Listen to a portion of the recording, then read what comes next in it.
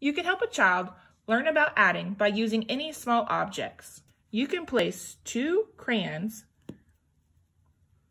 in front of the child and ask, how many crayons are there?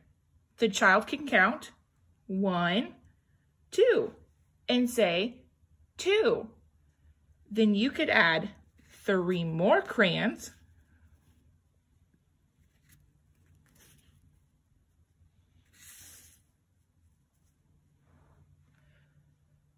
and say, if we get three more crayons, how many are there now?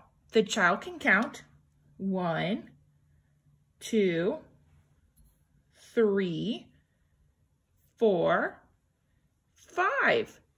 And they can say five. You can say, that's right. When we have two crayons and we add three more crayons, we get five. You can do this activity with any other numbers. Take, for instance, start with one crayon. You could add two more crayons and have them count.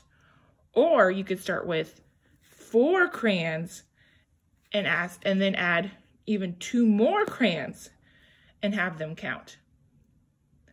You can do this with any small objects around the house, such as rocks, candy, or even buttons.